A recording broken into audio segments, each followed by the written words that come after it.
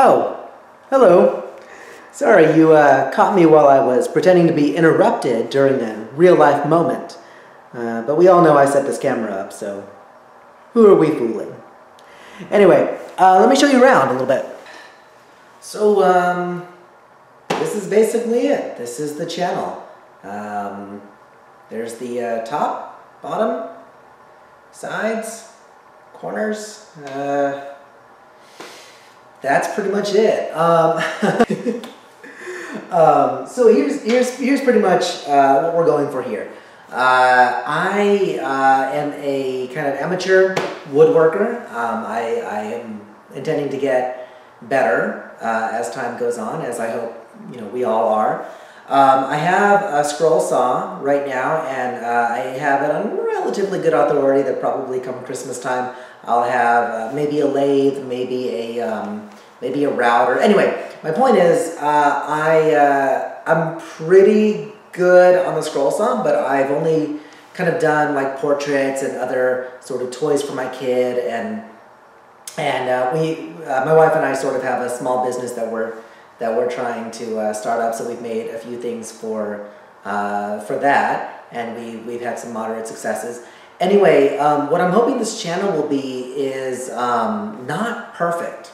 You know, um, I feel like there are a lot of channels where you can watch people making amazing things, and uh, while that's incredible, that's I, I get inspired by by stuff like that. Um, I'm also sort of hoping that this can be a little bit not quite that because you always know when you're watching those other channels, you always know that the thing ultimately is going to be pretty freaking incredible. And while that's great, um, I also think that there's some value to seeing somebody figuring it out, you know, and not always getting it right.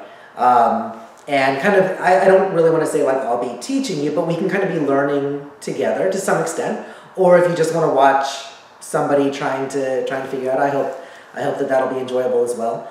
Um, but yeah, that's kind of it. And uh, I do apologize because this very first episode um, is not going to be in the garage a lot. We started off in the garage because I figured just visually it should it should be that way. But um, uh, I'm going to take you on into uh, into uh, the house to uh, to see what project I've been working on for a little while and uh, to get a little bit more work done on that. So I hope you guys enjoy. All right. Come on.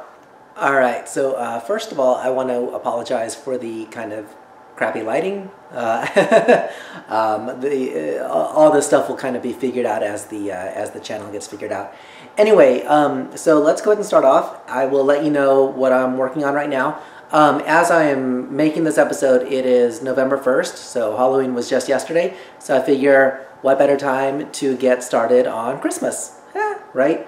Um, so what I'm working on, sorry if I'm being odd here, my cat is messing with the camera.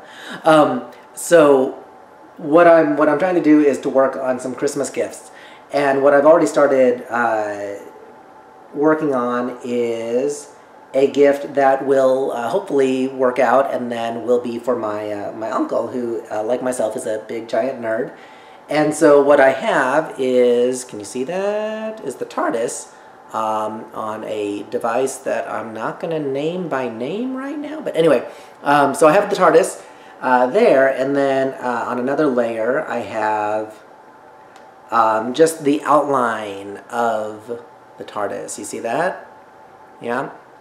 So what I'm hoping to do is to make um, basically an intarsia of the TARDIS. An intarsia. An intarsia and it doesn't work. It doesn't work like you think it should. Um, so I'm hoping to do that. Now here's the here's the tricky thing. I've never actually made an intarsia before. Um, so I have I have the outline like you already saw, um, and my hope is to uh, right now kind of figure out um, a uh, sort of sort of uh, color scheme. Um, I don't want to paint it ideally, although it, it might come to that. Um, ideally, what I'd like is for it to be kind of the TARDIS in various shades of natural wood color. Um, without getting too pricey, you can actually get like Purple Heart or um, or like Padauk is kind of kind of orange. Like you can actually get woods that are that are colorful. But I, I what I'm hoping to do with this is to keep it all basically wood brown, but um, various shades of brown that kind of uh, still reflect the color scheme of the TARDIS, if that makes any sense. Um, so what I'm going to be doing for this episode is basically going through and coloring um, in various shades of brown to see if I like the look of that, and then if I think I'd be able to actually pull that off um, with, uh, with the woods that I have or with the woods that I have access to. So uh, on that note, I guess uh, a lot of the rest of this episode is going to be um, fast-forwarded coloring in. So I hope you enjoy that. All right. All right, kids. Uh, kids, I don't know why I called you kids. Uh, uh, so slight change of plan. Um, I decided to spare you, possibly, uh, having to watch me color various shades of brown. Um, I guess on some level I figured maybe that wouldn't be particularly exciting to you, and then also on another level I couldn't find a good angle. So um, I will I will, I will work on the uh, specific uh, technicalities of these videos as time goes on. But um, I did uh, go ahead and do what I was hoping to, and uh, I wanted to show it to you. So here's how it is looking right now. Um, what I decided was that I wanted to do as close as I as close as I could. I wanted to do um, just three tones.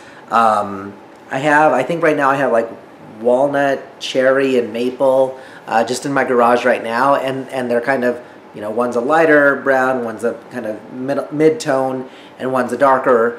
And so I figured you know if I could figure out how to do it um, with just the three tones that I kind of already have, maybe that would be good, you know, uh, a little bit easier than going out and getting getting other stuff for that. Uh, now, obviously, uh, what you're looking at is not uh, cleaned up. You'll see a lot of parts where different shades are bleeding into the other. I'm gonna clean that up. And honestly, uh, even right now, I'm not entirely sure if I like the look of it, it kind of looks like if the TARDIS was a chocolate bar.